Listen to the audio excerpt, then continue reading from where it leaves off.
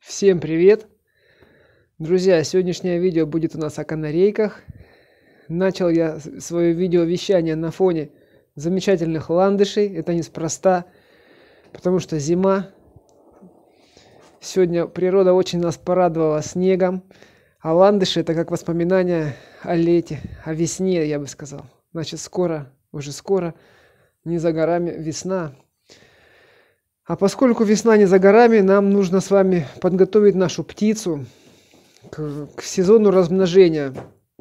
Но я об этом сниму буквально, буквально следующее или через следующее видео. То есть на неделе примерно ждите видео о подготовке канареек к весеннему сезону. Видео будет называться зимнее кормление канареек. А сейчас пойдем с вами к канарейкам, и я покажу вам, чем я кормлю своих канареек зимой, у которых птенцы.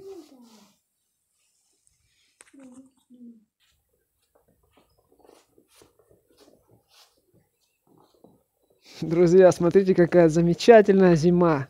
Февраль. Какое сегодня число? Шестое? Седьмое февраля. Санки у нас.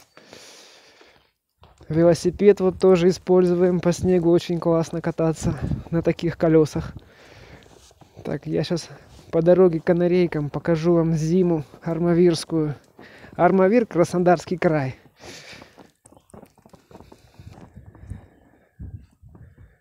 И вот такой снег у нас метет сегодня целый день. Вот, кстати, посмотрите слой снега. Вот у меня тут столик –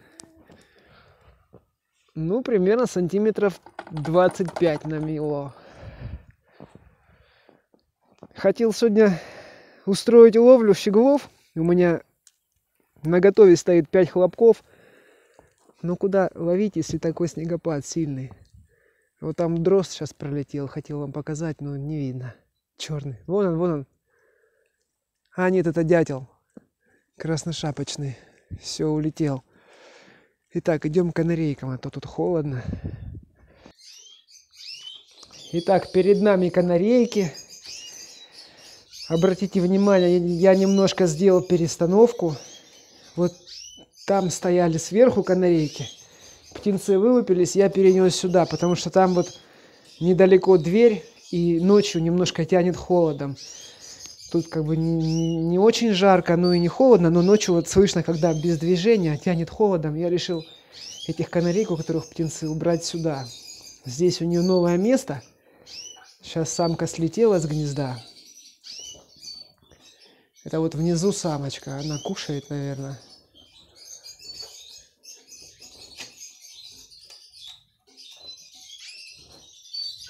Вот так вот будет лучше видно. Вот самочка подкрепиться решила. Значит, сегодняшнее видео посвящается кормлению канареек зимой, если птенцы. Вот когда птенцы, чем кормить? Зелени нету.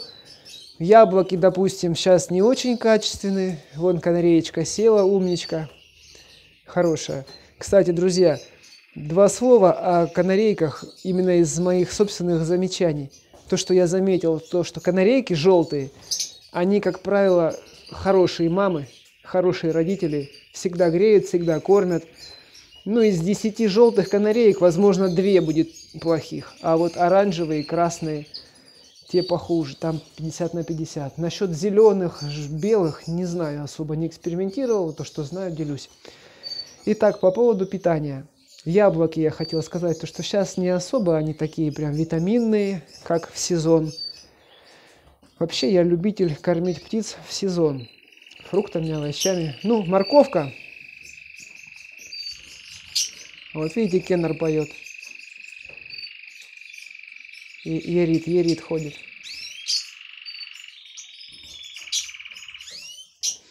Не стал я говорить по поводу, ну, пока он поет, думаю, не буду мешать. Значит, морковка уже от безысходности, деваться будет некуда. Даю морковку круглый год, и зимой, и, и в сезон, и не в сезон. Потому что там каротин, это как краситель всегда пожалуйста. Значит, смотрите, я в предыдущем видео обещал вам снять э, про репела, как он устроился, но сейчас у меня репел устроился в доме, у него все хорошо, но я сейчас пытался снять его поближе, он нервничает, еще не адаптировался, бьется по клетке, решил пока воздержаться. По поводу каши. Я обещал тоже снять вам видео по поводу каши. Значит, по поводу каши такая ситуация. Я вчера... У меня, видите, тут всего три кормящие пары. Всего три. То есть на каждую пару три чайных ложки. Ну, это получается как бы очень такая затея неудобная. Три чайных ложки, они просто теряются в котелке, варить это дело. В общем, я отварил, принес, дал. Канарейки не особо это все дело оценили. Моим канарейкам больше, больше подходит вот такая вот еда. Яйцо они очень любят хорошо, морковка, пророщенные семечки. Сейчас вам покажу пророщенные семечки. И в конце этого видео я немножко вам расскажу, как без проблем, как без труда сделать, приготовить пророщенные семечки для ваших канареек.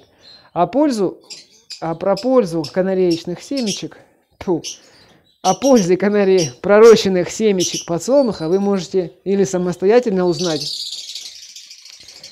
или напишите в комментариях, я вам персонально сниму видеоролик и расскажу. Итак, смотрите, сейчас, сейчас время дня у нас обед. Утром я давал такую порцию. Это здесь птенцы постарше.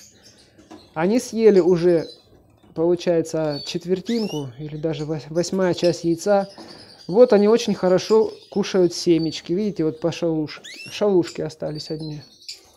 Семечки пророщенные. Сейчас я вам персонально покажу пророщенные семечки. Ну, еще хочу сказать, что вот это кормление идет с первых дней. С первых дней. Сегодня здесь птенцам уже у нас... Оп, опять, видите, он просит. Уже у самца просит. Самка сидит, самец прыгает на гнездо, и птенчики просят еду. Так, что я хотел сказать. Здесь птенцам уже 13-14 день. Они как ели с первых дней, так едят. Единственное, я заметил разницу. Некоторые самки активно, охотно поедают морковь. Вот, допустим, это именно эта самка хорошо поедает морковь. Ну, также обратите внимание, вот вся стенка морковинки. Почему-то они раскидывают на стенку. Эта самочка немножко хуже поедает морковь, но тоже ест. Вот видите, у нее морковка в принципе целая. Даже как я присыпал, кальций минералкой присыпал, так и есть. Яйцо поели, семечки средним, средним поели, а вот те хорошо. Ну, тут один птенчик. Кстати, друзья, на снятом видео ранее я комментировал, здесь было 4 яйца. Все были оплодотворенные. Самка, эта самка идет первый раз, у нее инстинкт материнства, и, значит, произошли такие ситуации. У нее вылупилось два птенца. Один птенец в возрасте 4, примерно 3-4 дней погиб, что-то у него с животом как-то он то ли лопнул, то ли она его когтями поцарапала, не знаю. В общем, вот такая причина гибели птенца. Второй, значит, и еще два яйца я вчера просвечивал фонариком от телефона и увидел две маленьких точечки, то есть два маленьких прокола. И там эмбриончик остановился, то есть яички высохли. Возможно, самка по неопытности допустила такие вот неполадки в своем деле. Ну, в общем, вот такие вот дела. Так, по поводу пророщенных семечек. Сейчас я вам покажу, как это выглядит. Ну, вот видите, здесь у меня кухня. Яйца вареные режу, морковка. Сегодня воскресенье, время есть побольше позаниматься с канарейками. Вот так выглядят пророщенные семечки. Здесь отсутствуют грибки, всякие разные аспергилы, дрожжи подобные. Нету. Семечки прорастил специальным образом, который сам, ну, до которого сам додумался, сам разработал. И в принципе получается без без грибков, без плесени, без ничего. Такие семечки пригодны в пищу даже человеку. Вот, пожалуйста. Канарейки очень охотно поедают. И этот, этот продукт полезный канарейкам.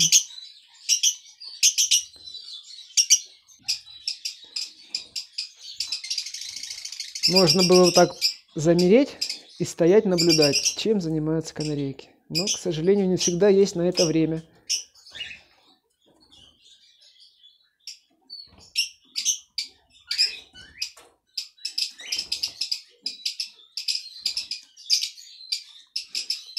Таким образом, я выхожу с положения при кормлении в зимнее время года своих подопечных канареек пророщенным зерном.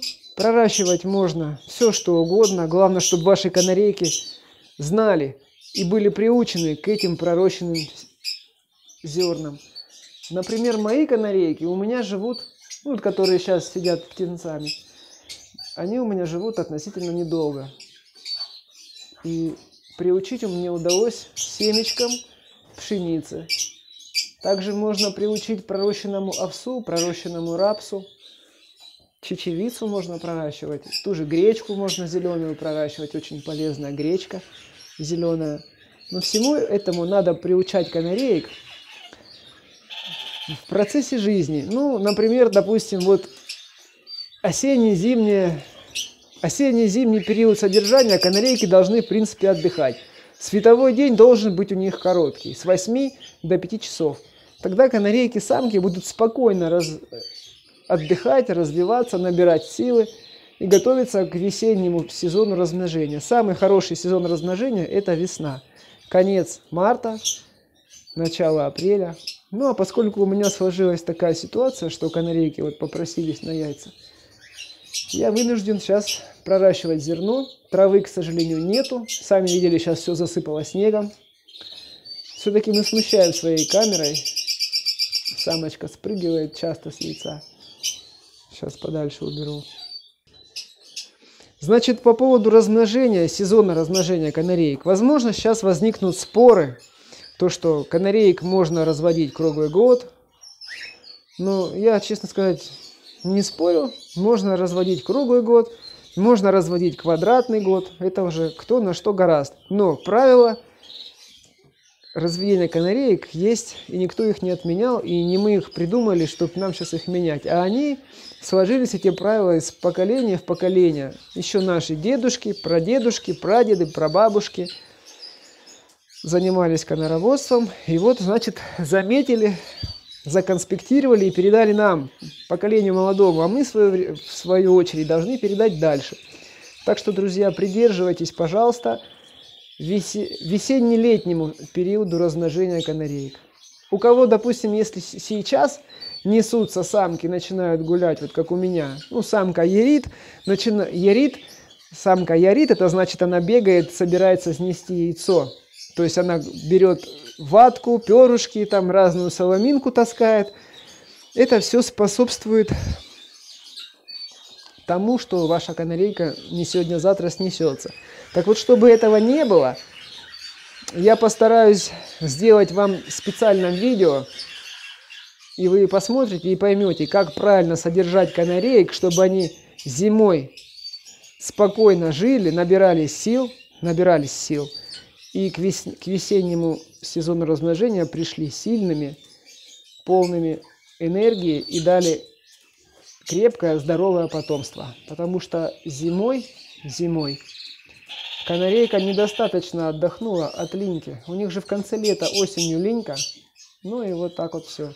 Но сейчас вкратце вам скажу, что основа, все зависит от... Э, первая причина это продолжительность светового дня – Вторая причина – это факторы раздражители. Это, допустим, наличие гнезда, наличие стройматериала, те же перышки лежат, там та же сена.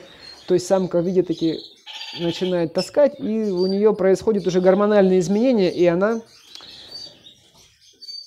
сама не замечая, подходит к сезону размножения и может снестись. Ну и, конечно, наличие присутствия самцов. Песня самца тоже влияет на самок. Слыша самцов, они начинают тоже ярить, у них также происходит возбуждение, и они начинают нести яйца не в попад. Поэтому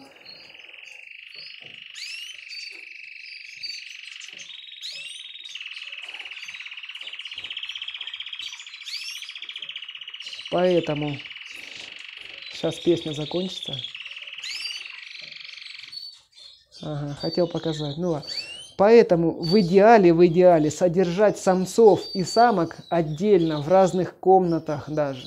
Не в разных клетках, а даже в разных комнатах. Это будет вообще шикарно. Потому что самка не будет слышать самца, Она будет жить, ну, главное, чтобы самка спокойно отдохнула, восстановилась.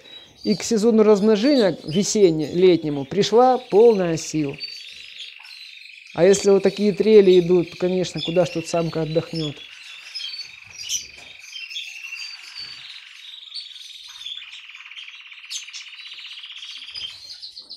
И, кстати, когда вот самка с самцом в одном помещении, даже вот сейчас и у меня, тут видите как, это временно.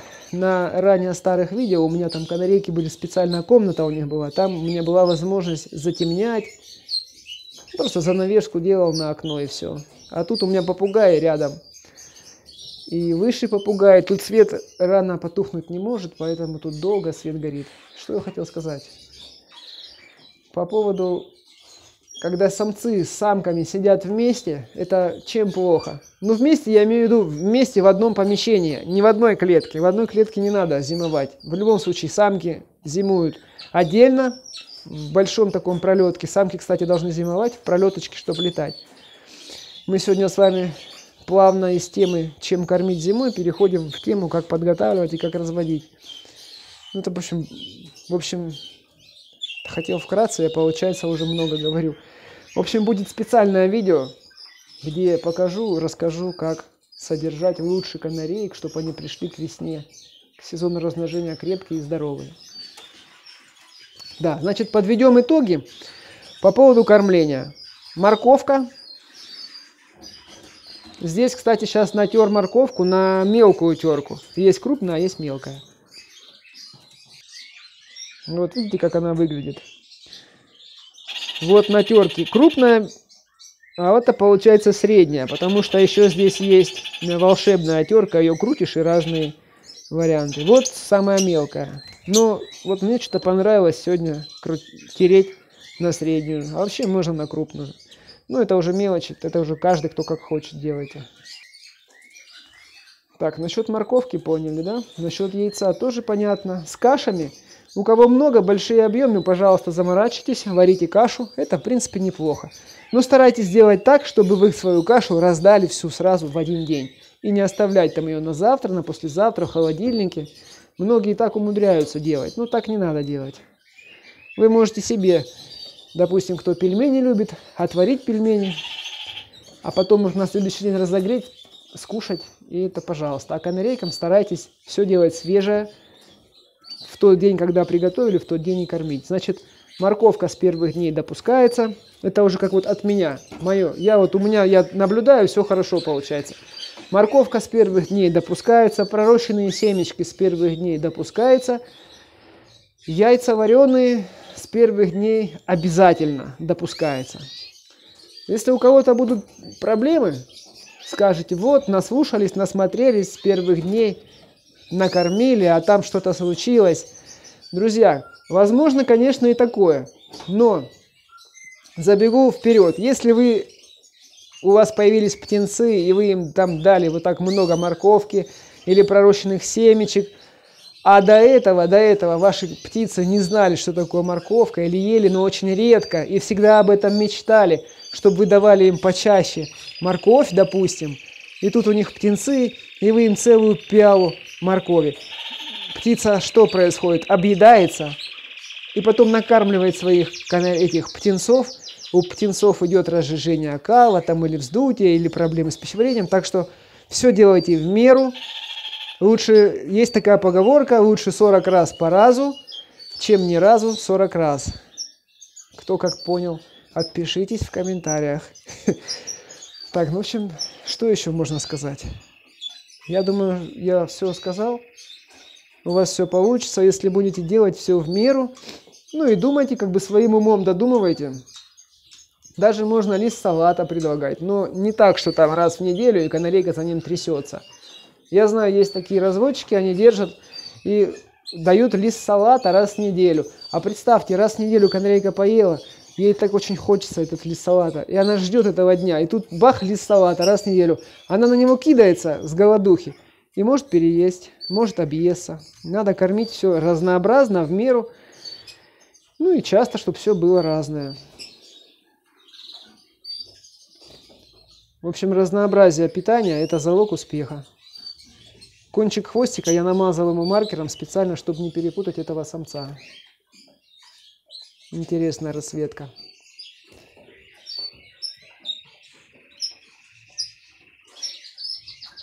Самочка по-прежнему в заморозке. Вот она одна так замораживается, а те три нормальные. А вон папаша это, этих птенчиков. Сейчас я вам еще напоследок птенчиков покажу. Они растут. Опять-таки здесь у нас живет подкидыш. Если кто смотрел раньше снятые видео, там есть видео про подкидыша. И вот смотрите, 13 день, кстати, гнездо они немножко пачкают уже. За 13 дней накопилось. Разные краски здесь. Вот они, птенцы.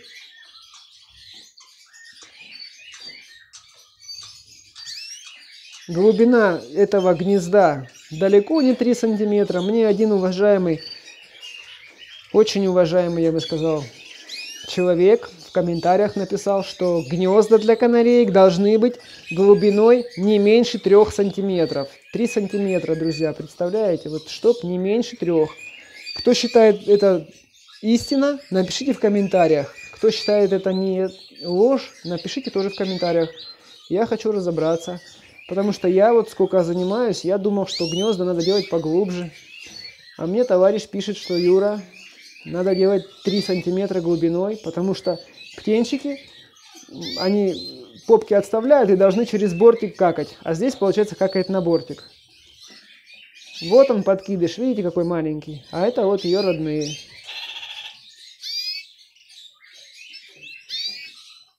Видите, глаза уже смотрят на нас. Интересно, какая у них будет судьба. Кто будет певцом, кто будет самкой, хорошая ли будет, плохая. Но по идее, передается все по наследству. По наследству передается. Инстинкт материнства, отцовства, песня передается в основном по наследству. Здесь самка неплохая. Конечно, первые дни я ее подкармливал, но, слава богу, она ума набралась. Вон она сидит. Вот, кстати, она разморозилась. Видите, какая она активная? Прыгает, чирикает. Вот так сейчас сделаю, чтобы посмотреть. В общем, таким вот образом проходят будни, зимние будни канареек, у которых птенцы. Все у них хорошо. Воду, кстати, меняю я раз в день. Сейчас зима, получается нормально раз в день.